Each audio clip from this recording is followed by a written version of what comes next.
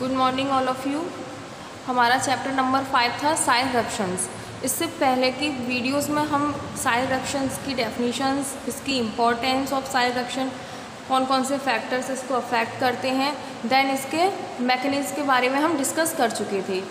अब हम इस वीडियो में बात करेंगे इसके कुछ इक्विपमेंट्स की जो साइड रप्शंस में यूज़ किए जाते हैं. जैसे कि आप देखिए, आपके hammer mill ball mill fluid energy mill और डिसइंटीग्रेटर है। आपके ये चार इक्विपमेंट्स हैं जो आपके सिलेबस में दे रखे हैं, इसलिए हम सिर्फ़ इन चार के बारे में ही आगे डिस्कस करेंगे। और आपके, आपको बता दूँ कि अगर इन चारों पे से किसी पे भी एग्ज़ाम में क्वेश्चन आता है, इस तरीके से कि write a note on hammer mill ball mill या फ्लूड एनर्जी मिल या डिसइंटीग्रेटर इस तरीके से भी पूछ सकता है या इस तरीके से भी आ सकता है कि write a note on hammer mill या explain the construction working advantage and disadvantage of hammer mill with suitable diagram तब आपको ये सारी चीज़ें बतानी होंगी इसमें। ठीक है तो सबसे पहले हम बात करते हैं हैमर मिल के बारे में।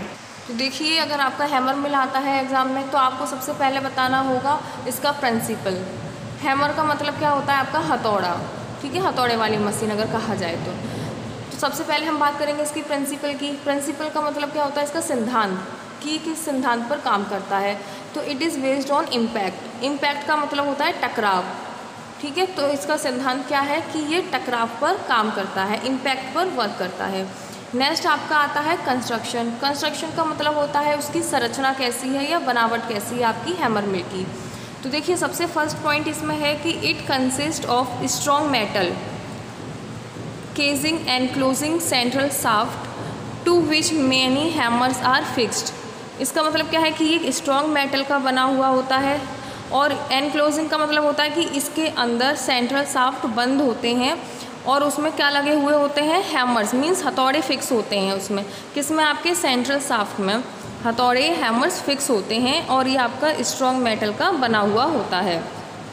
नेक्स्ट पॉइंट आपका है कि at the lower side there is a screen through which powder passes means इसमें नीचे की साइड पे आपके एक सीफ लाइट छड़नी लगी हुई होती है, जिससे हमारे जो सॉलिड मटेरियल्स हैं, वो इस हैमर की मदद से ब्रेक्स हो जाते हैं और पाउडर फॉर्म में कन्वर्ट होके पास हो जाते हैं। किसके थ्रू पास होते हैं आपके? स्क्रीन के थ्रू पास हो जाते हैं आपके, ठीक? नेक्स्ट पॉइंट है there is a feed inlet and product outlet इसमें फ़ीड इनलेट क्या होता है आपके? जहाँ से हम सॉलिड मटेरियल्स को इसके अंदर फिल कराते हैं। वो आपका कहलाता है फ़ीड इनलेट और प्रोडक्ट आउटलेट जिसके थ्रू हम पाउडर्स को कलेक्ट कर लेते हैं। तो वो आपका कहलाता है प्रोडक्ट आउटलेट ये आपकी कंस्ट्रक्शंस थी। अब हम बात करते हैं इसके डायग्राम देखिए, ये आपका हैमर मिल का डायग्राम है। आपका जो हैमर मिल होता है, वो आपका कुछ इस तरीके से मशीन्स आपकी होती है। तो देखिए, इसमें मैं बात कर रही थी ना सेंट्रल साफ्ट जो होते हैं। साफ्ट का मीन्स ये चीज़ जो है, ये आपकी साफ्ट कहलाती है, जिससे आपके हैमर्स फिक्स्ड होते हैं। मीन्स ये आपके हैमर्स ये देखिए, ये हैमर्स हैं। ये आपके क्या हैं, इस पर अटैच हैं हैमर्स फिक्स्ड हैं। ठीक है? यहाँ आपका फ़ीड इनलेट है। इसके थ्रू हम क्या करते हैं, इसमें सॉलिड मटेरियल्स को फिल कराते हैं। या चाहे तो हॉपर भी लगा हुआ हो सकता है, जिसके थ्रू हम क्या कराते हैं अपने सॉलिड मटेरियल्स को इसमें फिल कराते हैं। उसके बाद क्या करते हैं कि ये हैमर्स जो होता है, इस साफ्ट की वजह से ये रोटेट करेगा। जब ये रोटेट करेंगे तो हमारे जो सॉलिड मटेरियल्स हैं, वो इनसे टकराएँगे हैमर से। मींस इम्पैक्ट होगा। वो टकराएँगे तो और वो पाउडर फॉर्म में कन्वर्ट होंगे। कन्वर्ट होने के बाद देखिए, ये आपकी क्या लगी हुई है? स्क्रीन लगी हुई है। इसके थ्रू वो पाउडर्स जो है, नीचे यहाँ पे कलेक्ट होते रहेंगे। यहाँ पे प्रोडक्ट आउटलेट है, जिसके थ्रू हम यहाँ पे इसको कलेक्ट कर लेंगे।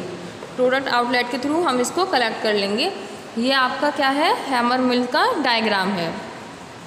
ठीक है?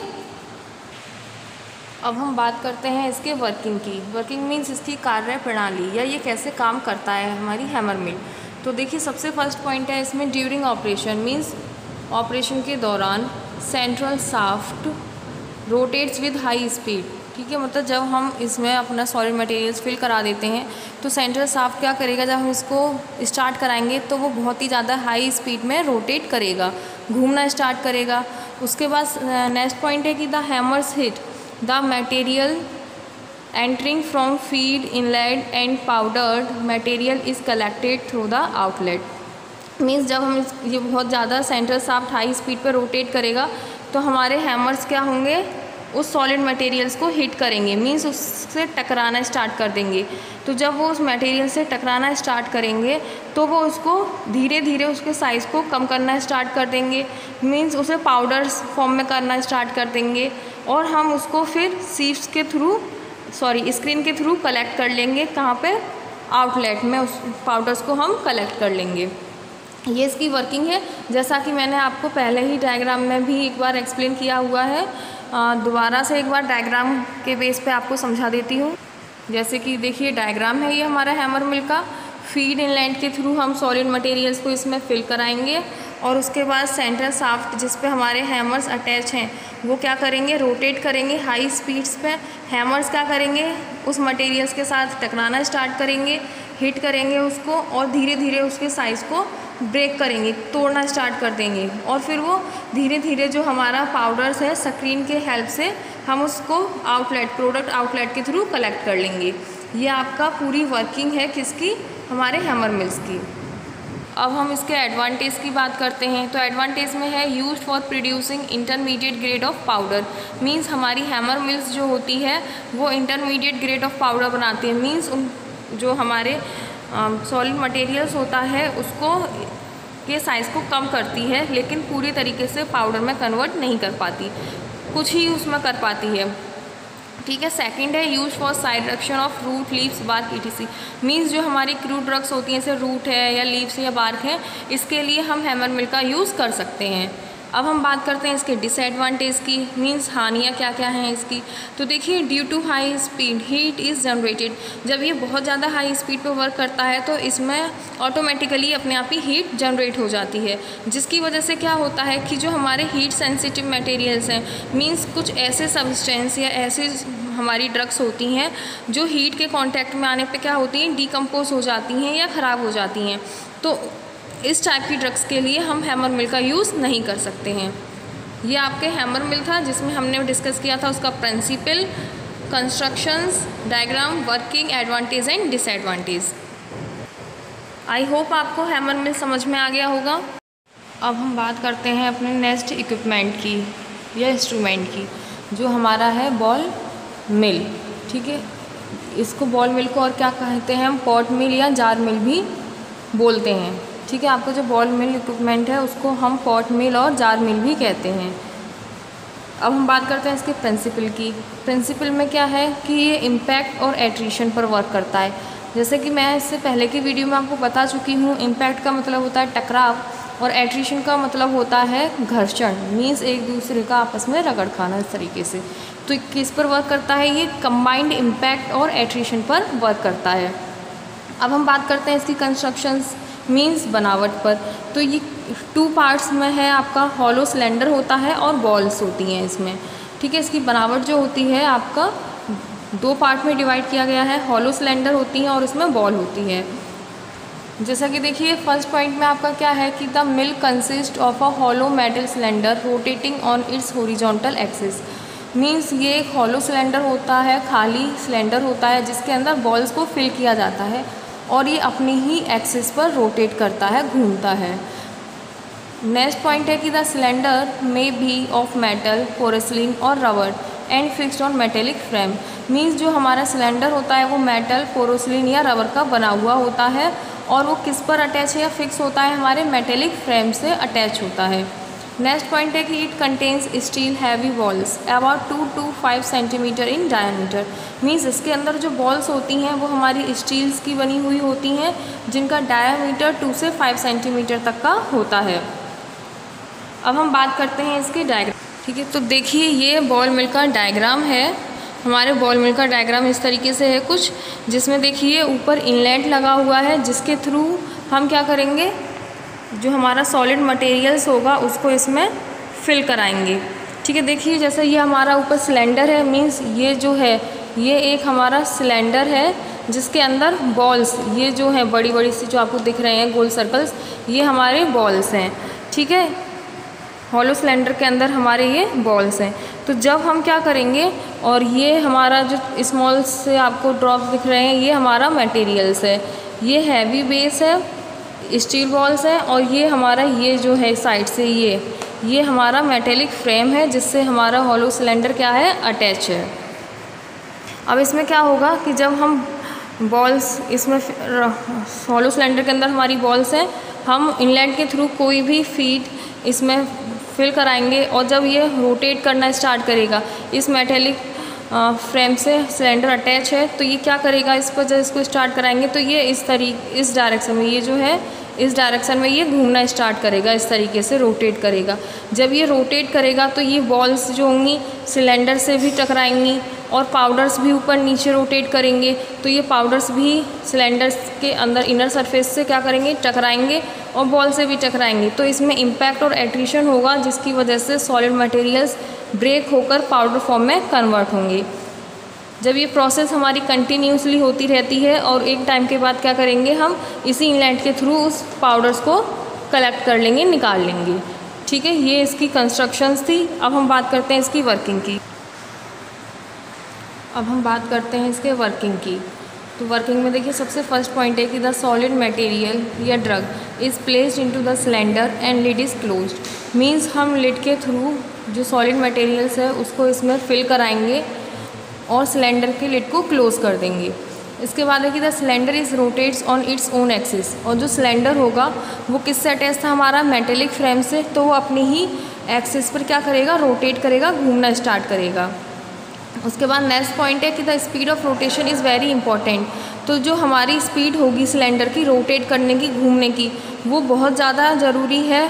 बिकॉज़ क्योंकि अगर लो स्पीड होगी तो the mass of balls will slide और roll over each other and only a negligible amount of size reduction will occur इसका मतलब है कि अगर बहुत ही ज़्यादा कम स्पीड होगी तो हमारी बॉल्स क्या होंगी कि एक ही साइड पर वो घूमती रहेंगी और उसकी वजह से क्या होगा कि जो हमारा पाउडर या सॉलिड मटेरियल्स है, वो पाउडर फॉर्म में कन्वर्ट नहीं होगा या ब्रेक्स नहीं होगा। जैसा कि देखिए आप इस डायग्राम में देख ही सकते हैं। आ, इस तरीके से सिलेंडर होगा तो जो हमारी बॉल्स होंगी वो सारी एक ही साइड पर आकर रोटेट करेंगी मतलब एक ही साइड पर अटैच हो जाएँगी अगर बहुत कम स्पीड होगी तो। और जिसकी वजह से क्या होगा हमारा जो साइज़ रिडक्शन है वो नहीं हो पाएगा। अब अगर देखिए एट हाई स्पीड अगर ज़्यादा स्पीड होगी तो उसकी वजह से क्या हो सकता है कि the balls will be thrown out to the walls by centrifugal force and no grinding will occur means अगर बहुत ज़्यादा स्पीड होगी बॉल्स की तो क्या होंगी? बॉल्स गिरना स्टार्ट करेंगी सेंट्रीफ्यूगल फोर्स हो जाएगा उसमें रोटेशन की वजह से, जिसकी वजह से हमारा पाउडर्स नहीं होगा या हमारे जो सॉलिड मटेरियल्स है, वो भी ब्रेक्स नहीं हो पाएँगे। देखिए, जैसे कि आप हाई स्पीड वाले डायग्राम में देख सकते हैं, अगर बहुत ज़्यादा स्पीड होगी तो बॉल्स कुछ इस तरीके से शो होंगी।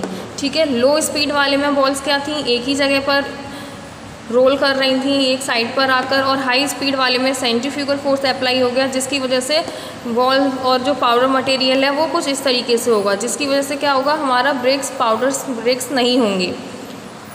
अब देखिए, जो बिल्कुल सही स्पीड है, वो आपकी क्या है कि two third of the speed मतलब अगर हम इतनी स्पीड लेके चलते हैं तो centrifugal force just occurs with the result that the balls are carried almost to the top of the mill and then fall in ठीक है, अगर हम इस तरीके से करेंगे तो देखिए क्या होगा, हमारा कुछ करेक्ट जो स्पीड है वो इस तरीके से होगी। मीन्स हमारी बॉल्स जो हैं वो कुछ इस डायरेक्शन में रोटेट करेंगी, जिसकी वजह से क्या होगा कि हमारे जो पाउडर्स हैं वो ब्रेक होंगे। ब्रेक होना स्टार्ट करेगा और उसका साइज़ भी कम हो जाएगा। तो हमको करेक्ट स्पीड रखनी है, बहुत ज़्यादा हाई स्पीड भी नहीं रखनी और बहुत ज़्यादा लो स्पीड भी नहीं रखनी। आप देखिए, तीनों आप डायग्राम देख सकते हैं लो स्पीड पे इस तरीके से हाई स्पीड में कुछ इस तरीके से शो होगा और जो हमारी करेक्ट स्पीड होगी, उसमें हमारा साइज़ रक्षण हो पाएगा, ठीक है? अब हम बात करते हैं इसके एडवांटेज की। मीन्स इससे क्या क्या लाभ है? तो देखिए फ़र्स्ट पॉइंट है कि it can be use for continuous operation continuous operation क्या है कि हम इसको रेगुलरली या लगातार इसका हम यूज़ कर सकते हैं। अगर हमें एक बार में बहुत बल्क में पाउडर्स करना है, कोई सॉलिड मटेरियल्स का तो हम उसको कंटिन्यूसली यूज़ कर सकते हैं। इफ़ सीव और classifier is attach to the mill और जो हमारा साइज़ सेपरेशन होगा मीन सॉरी साइज़ का रिडक्शंस होगा, वो संग के संग सीव होता जाएगा या क्लासीफायर होता जाएगा। मीन्स एक जगह हम उसको सीव आउट करके कलेक्ट करते रह सकते हैं। नेक्स्ट आपका है कि it is capable of grinding different materials of wearing hardness means ये कैपेबल है अलग अलग तरह के हार्डनेस टाइप के जो मटेरियल्स होते हैं मीन्स कठोर मटेरियल्स होते हैं उनको ग्राइंड करने में. नेक्स्ट आपका है कि the mill is suitable for wet और dry grinding means wet means जो आपके मॉइस्चर्स टाइप के होते हैं मीन्स गीले टाइप के जो हमारे होते हैं, कुछ ड्रग्स और जो कुछ ड्राई फॉर्म में होती हैं, उन दोनों के लिए ही ये सुटेबल है. नेक्स्ट हम बात करते हैं इसके डिसएडवांटेज की। तो देखिए डिसएडवांटेज में क्या है कि the ball mill is very noisy machine if the casing is of metal noisy means बहुत ज़्यादा ये आवाज़ करती है वाइब्रेशन करती है। क्यों? क्योंकि ये मेटल की बनी हुई होती है और इसमें बॉल्स भी होती हैं। तो जब ये रोटेट करती है अपने ओन एक्सेस पर तो ये बहुत ज़्यादा नॉइसी और वाइब्रेशन प्रोड्यूस करती है। नेक्स्ट पॉइंट आपका है wear occurs from the balls as well as from the casing which may result in contamination of the product means अगर जो हमारी बॉल्स होंगी, वो क्या होंगी? ख़राब हो जाएँगी, या क्रोजन आ जाएगा, या कुछ हो सकता है टूट फूट कुछ हो जाए तो वो क्या करेंगी कि उसके अंदर जो हमारा प्रोडक्ट होगा, वो भी कंटामिनेट होगा, ख़राब हो जाएगा। ठीक है तो हमें इस चीज़ का भी ध्यान रखना है कि जो बॉल्स हैं, वो सही हों, उनमें किसी भी तरीके की कोई प्रॉब्लम ना हो। देखने में हो सकता है कि उस पर कोई मटेरियल स्टिक हो, कोई दूसरे टाइप का तो वो भी कंटामिनेट कर सकता है हमारे प्रोडक्ट को। तो हमें ये सारी चीज़ का इसमें ध्यान रखना होगा। तो आपका बॉल मिल भी कंप्लीट हो गया है।